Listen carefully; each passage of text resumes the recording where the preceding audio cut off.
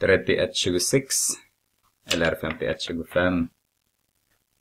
Eh, på en skola med 550 elever är sannolikheten 0,2 att en slumpvis vald elev röker. Hur många elever på skolan röker? Så kommer ni ihåg i kapitel 2 om procent så har vi delen är lika med hela multiplicerar med andelen. Och det är exakt samma som vi kommer att göra här.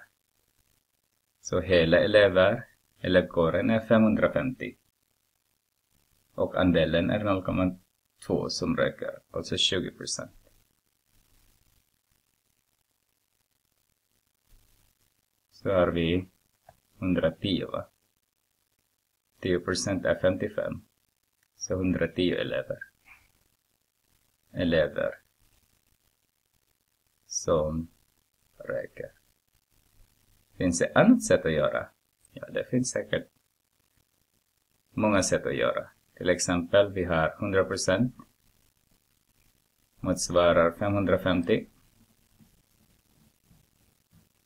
elever.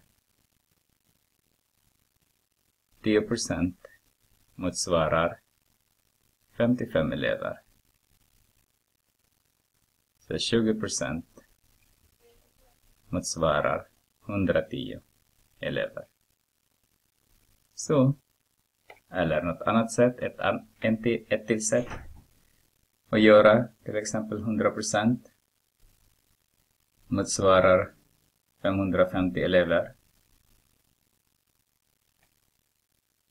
Och 20 procent, det vet inte vi. Så skriver man x. Så x dividerat med eh, 550 är lika med eh, 20 dividerat med 100. Multiplicerar vi med 500 med 500. Det är, eh, nej 550, förlåt. Nu blev det fel. 550 ska det vara. 550. Så har vi där då, så har vi. Om vi tittar, det finns en nolla där. Så, en till nolla där. Så har vi 55 gånger 2, 110 elever också. Ja, tre sätt att göra.